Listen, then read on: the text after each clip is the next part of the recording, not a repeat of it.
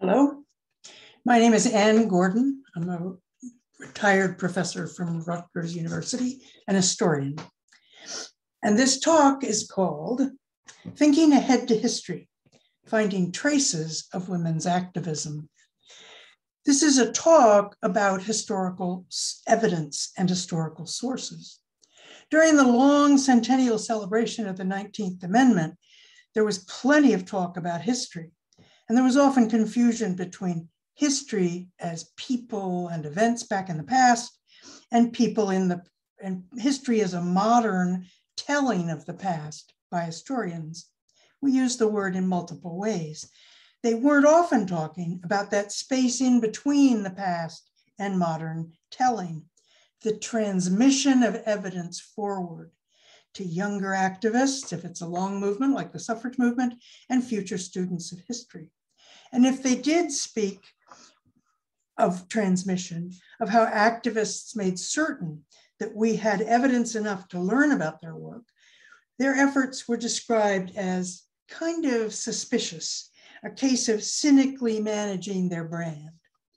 Their efforts among these efforts among 19th century activists are my subject here. I am aware that to suggest we think ahead to history sounds paradoxical. History's behind us, isn't it? Um, back there.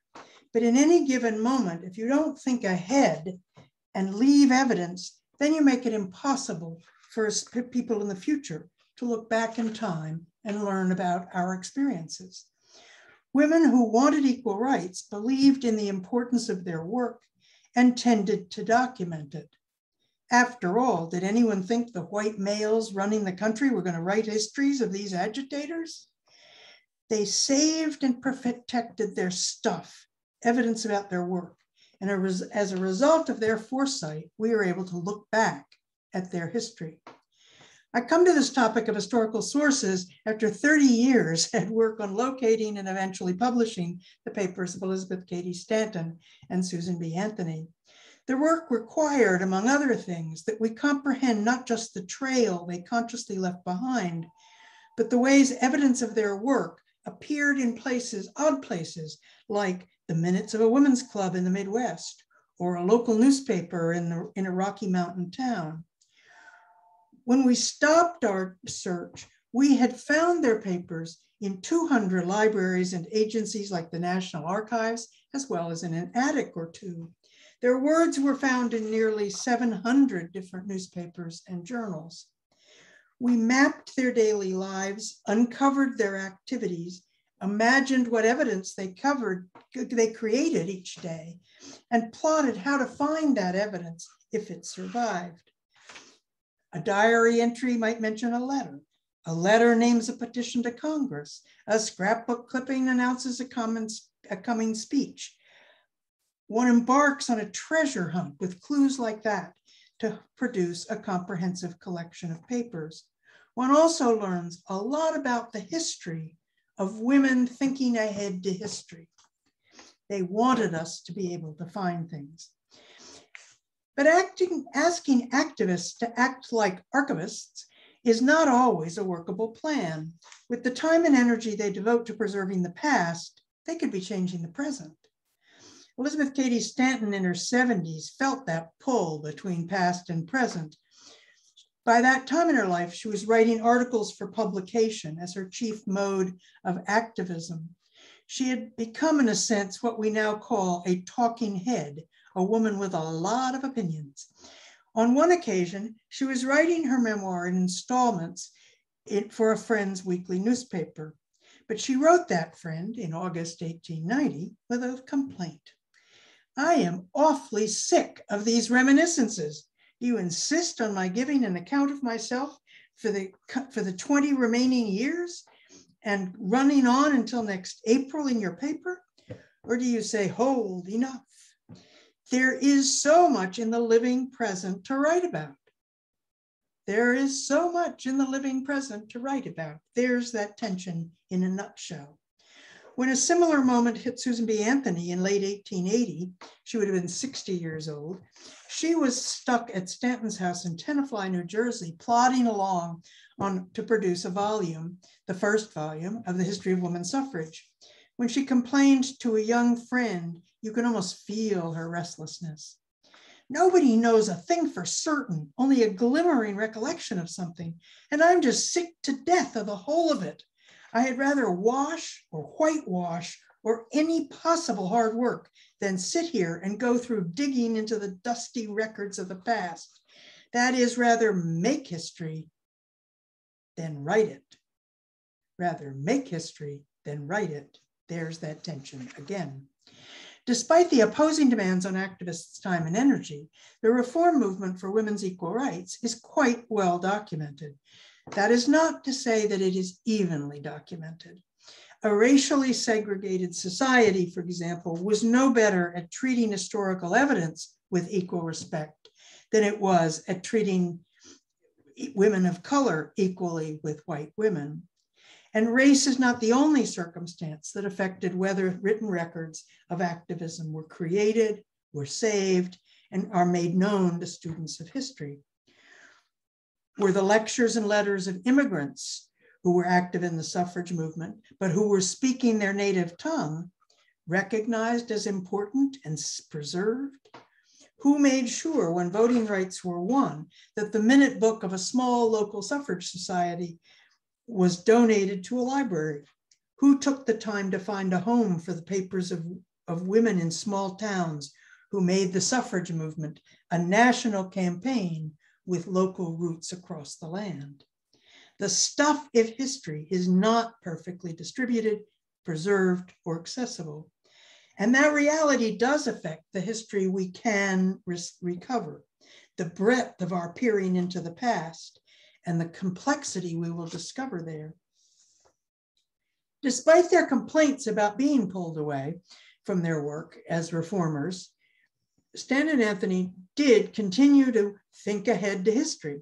Stanton wrote those next installments of her memoirs and later put them together in a book, 80 Years and More. Working with Matilda Joslyn Gage, they finished three volumes of that history of women's suffrage, a valuable compendium of agitation at every level of government through 1885. In that work, they preserved for us the names of thousands of activists and glimpses of agitation and organization in all the states and territories. The prize for thinking ahead goes to Anthony. She put enormous effort into distributing evidence about the 19th century movement into libraries and encouraging her collaborators to put their historical evidence in order. She began to clear her attic of stuff. She corresponded with librarians about what they might want of the pamphlets and suffrage newspapers she found there. It turned out that she had, for example, multiple runs of the newspaper The Revolution that she published after the Civil War. She didn't need, no one library needed multiple sets. So they were distributed to libraries across the country. When she discovered that Syracuse University lacked a copy of another suffrage newspaper, National Citizen and Ballot Box, edited by the late Matilda Joslyn Gage, she put the university librarian in touch with one of Gage's daughters who had extra sets at her house, and she was looking for a place to deposit them. The biggest of her gifts, Anthony's gifts, went to the Library of Congress. Hundreds of books were sent from her family's collection, some of them quite old and quite rare. They weren't just her personal um, accumulation. Um, runs of newspapers went from anti-slavery days as well as women's rights work, pamphlets published for women's suffrage campaigns, and scrapbooks galore. This was not a gift simply to celebrate herself. 20 years ago, when I acquired a reprint of the rare 1893 uh, booklet by Ida B. Wells and others called The Reason Why the Colored American is Not in the World's Columbian Exposition. Um, I was delighted to see that the copy used for this 20th century reprint was the copy Susan B. Anthony had given to the Library of Congress in 1903 there was a connection. She had looked ahead and somebody made use of what she'd done. About Anthony's donations to the Library of Congress, I'll limit myself today um, to her scrapbooks, more than 40 volumes of them. She started to collect printed material for scrapbooks at the suggestion of her father.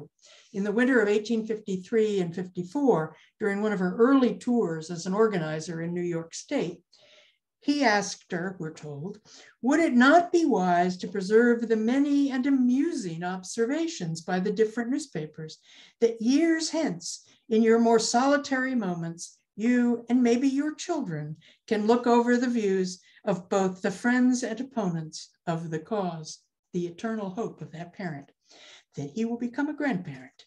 There was an element of the autobiographical about the start of SBA's dive into scrapbooking, but her father's advice was aimed at public responses to this new reform movement. Listen to what they're saying. That's going to amuse you later. And he pointed her toward newspapers. Suffragist scrapbooks are stuffed with newspaper clippings. And while using Anthony's scrapbook to track down things like newspaper reports of a speech she gave through the Midwest, we would discover instances where no copies of a local newspaper had survived. And the fact that Anthony cut that clipping out and put it in a scrapbook was the only evidence remaining of events in that town. The scrapbooks are rich with evidence about the world around her, too, especially injustices, inequalities, and agitators, as well as tracking how newspapers reported her own speeches. The use of scrapbooks to document the world they are fighting to change seems to be a, seems to be characteristic of scrapbooking suffragists. Matilda Joslyn Gage kept track of her political work as reported in newspapers, but many pages of her scrapbooks resemble somebody in someone's research files, a place to keep articles that might prove useful when drafting a speech or writing an article or just making an argument.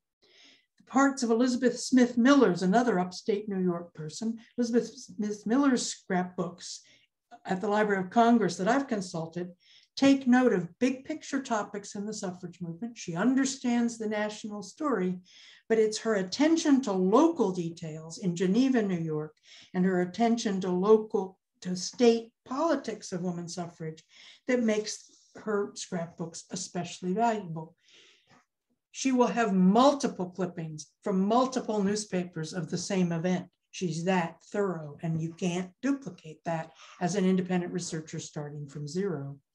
The tendency to think of scrapbooks as personal records, a collection of cherished mementos, like mine was when I was a child, is a disservice to researchers. These scrapbooks are loaded with the evidence of history.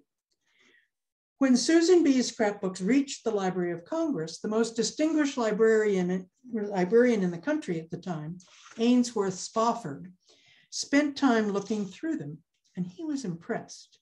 He had retired as Librarian of Congress, but was acting librarian in the summer of 1903 and corresponded with Anthony about her donations.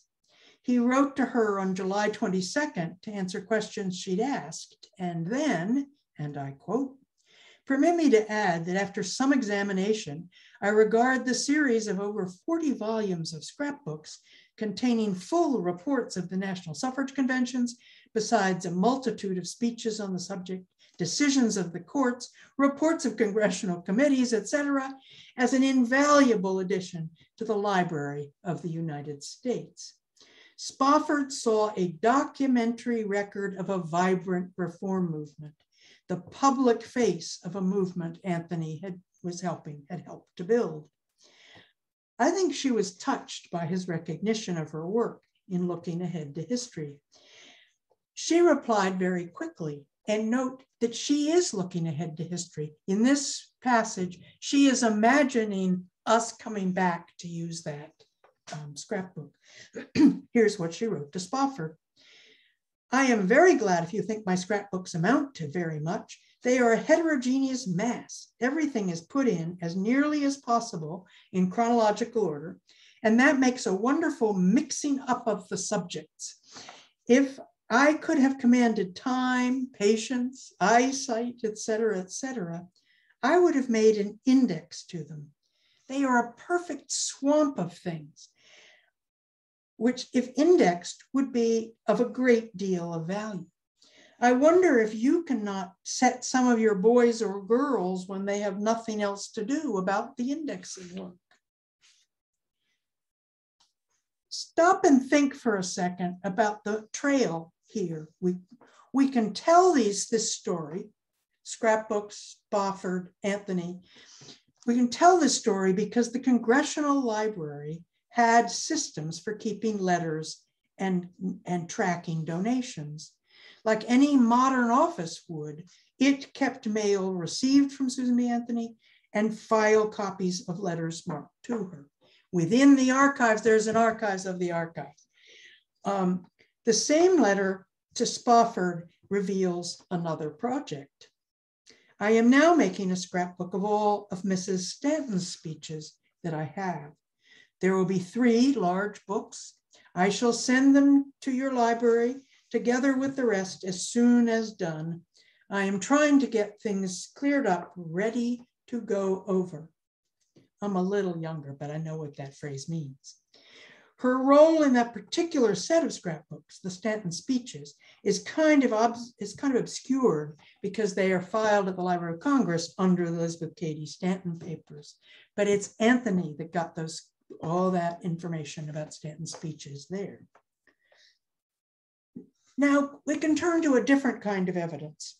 In the Library of the Chicago Historical Society, there is a huge collection that allows us to tap into the work of building and sustaining a movement for equal rights from a very different angle.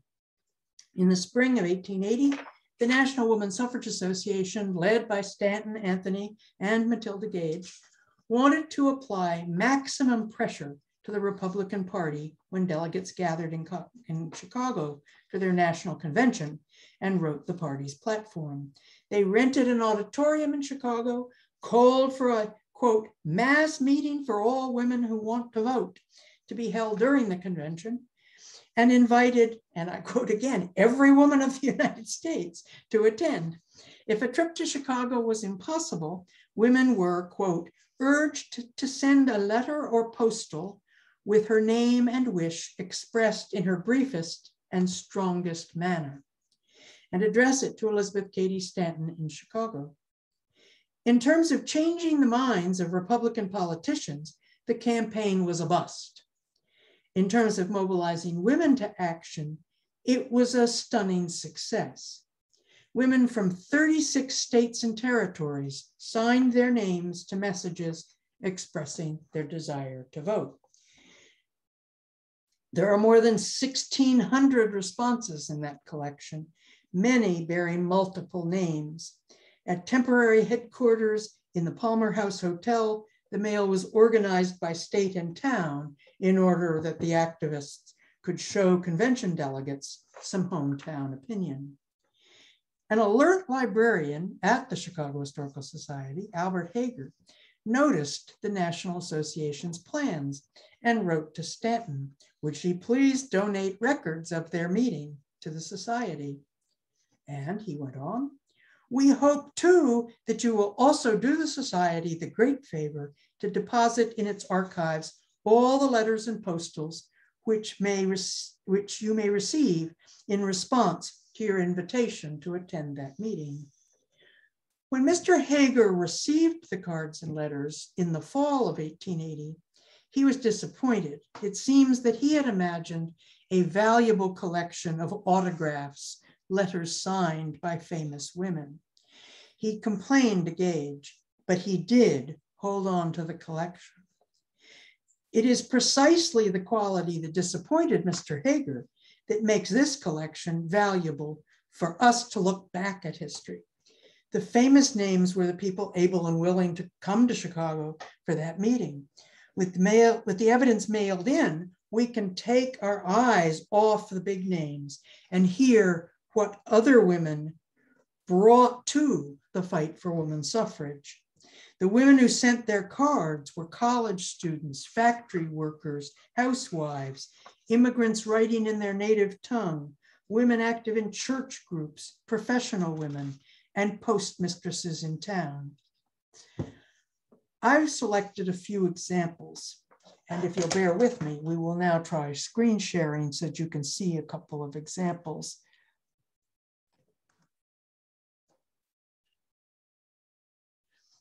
Uh, what uh, I'm going to talk about is the one on the right on the left. Sorry. Um, this is a postcard from Sarah Ely.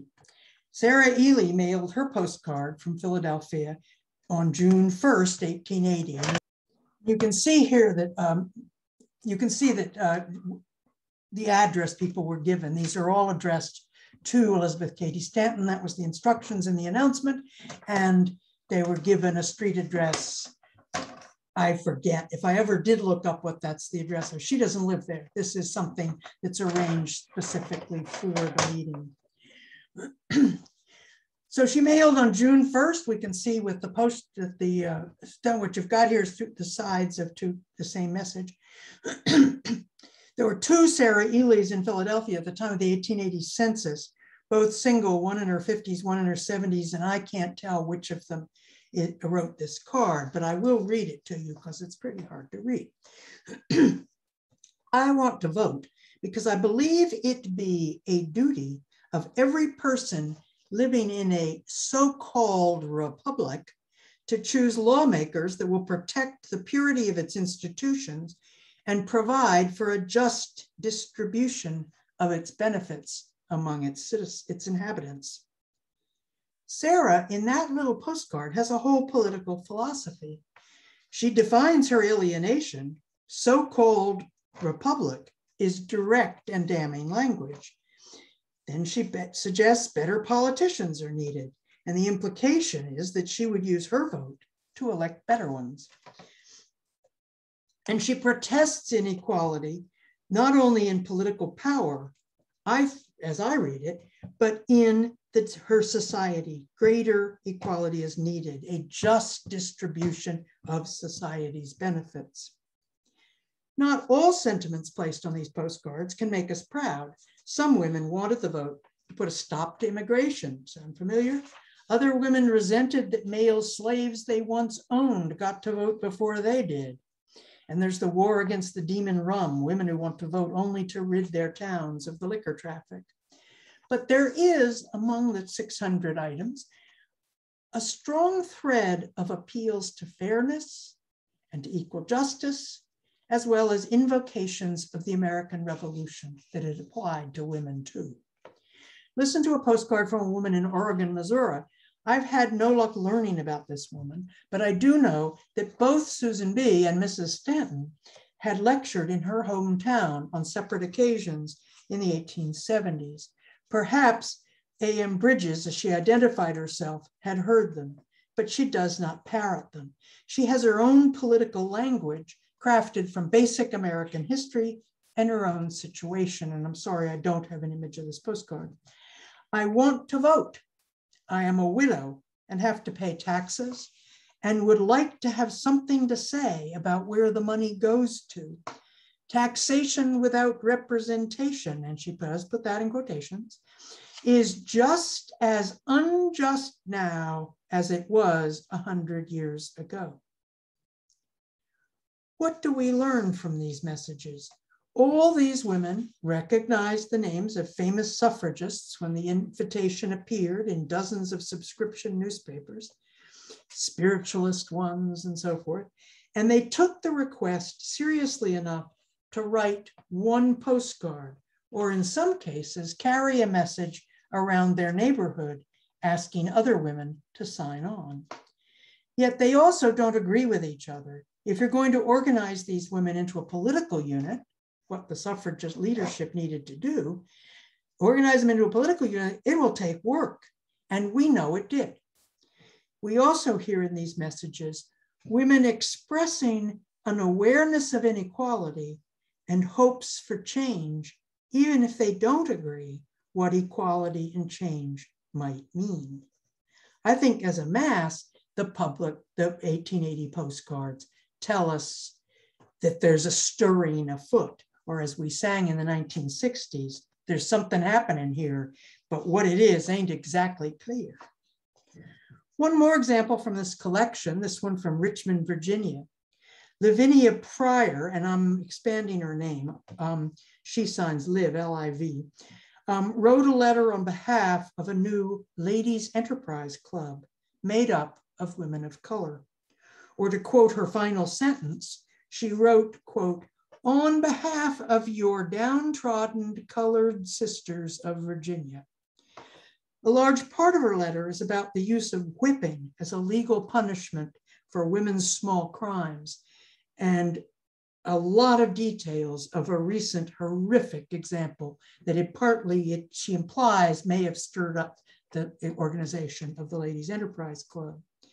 In their new club, it was their object, she wrote, to petition, lecture, and do all things which shall so soften the heart of mankind that they will see and must grant and respect our rights. She knows that the call went out for views about voting rights, but she, it seems to me, has a different goal.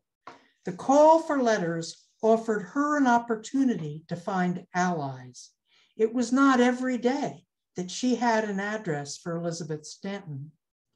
She concludes her letter by saying, We are your sisters, though colored.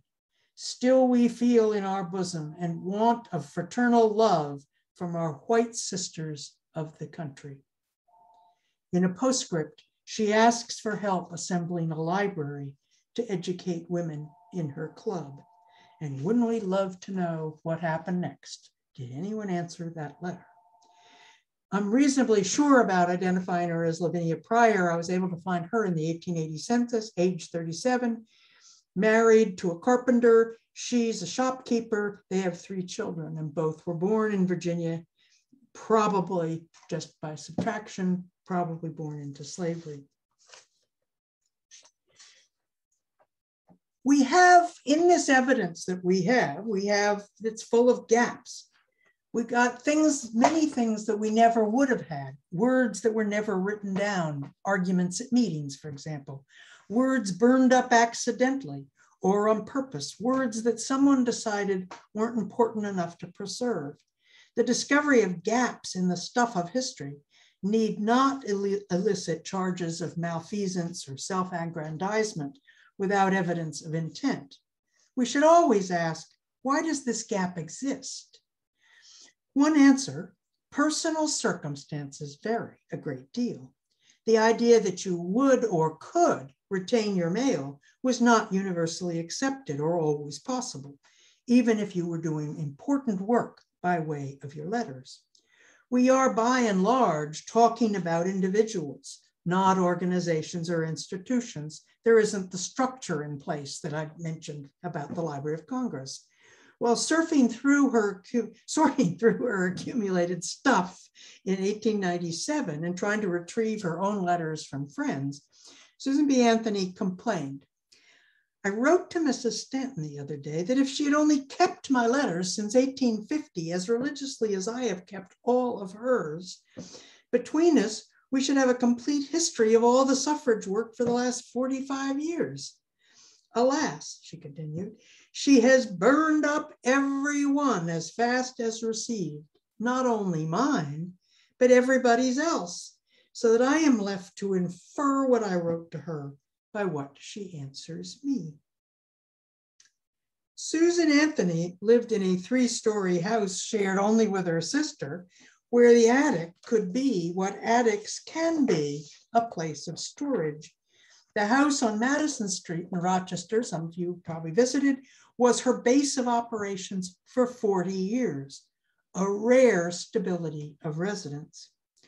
When she complains about Mrs. Stanton's destruction of mail, she is talking about a woman who lives in a New York City apartment with two adult children. Moreover, Stanton had relocated many times, no doubt purging her stuff each time, as we all do. Another reason for gaps can be that families were not comfortable with unvarnished truth for some reason. Families faced with a parent's stuff act differently.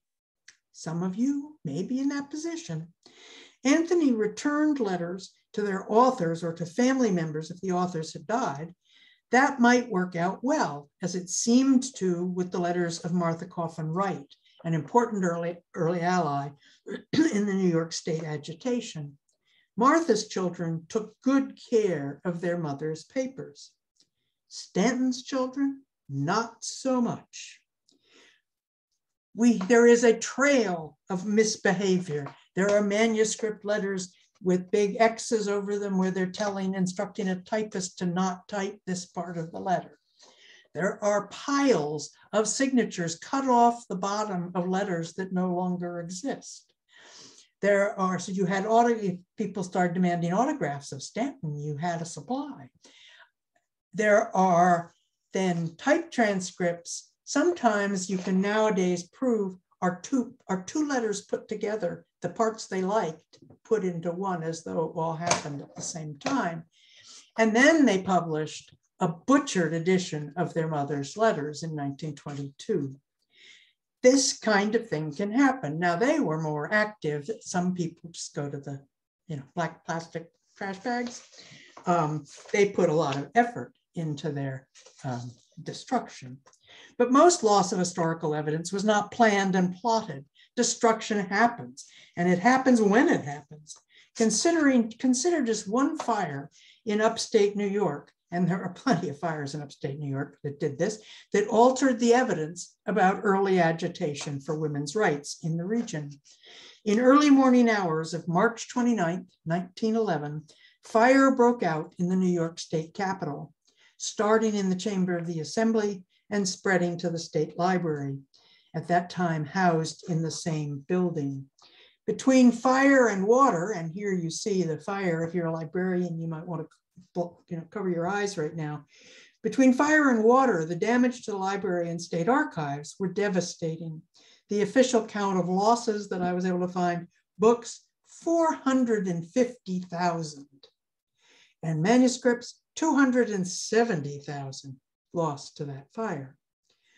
Among the manuscripts were petitions to the state legislature. It was the library and archives. And among the petitions were ones like this rescued one circulated in New York. I'll help you with the text. You're just seeing the shape. Um, like this rescued one circulated in New York in 1855 and submitted to the legislature early in 1856. We know what the printed text says. We can't even see it on this damaged one. We know what the printed text says because the text of this petition had been published in newspapers.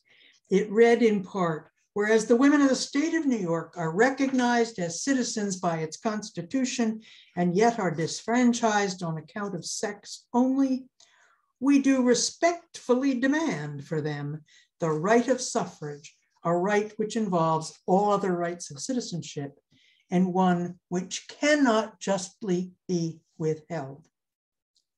This item is preserved protected from further damage and decay, but none in this condition, and there are others, can be restored to offer us the most valuable information, the names of the men and women willing to put pen to paper for the cause in 1855. We would know a lot about the effectiveness of activists organizing and the appeal of equal rights if we could use such petitions to learn about supporters. We can recover a few names here. One of the things that this, what I think is supposed to be happening here is that it's a, a column for women to sign and a column for men to sign. That leaves the question up here with John C. Uh, Warden just above the indent. Um, that maybe that woman, if this is the woman's side, she may have signed it as Mrs. John C. Warden.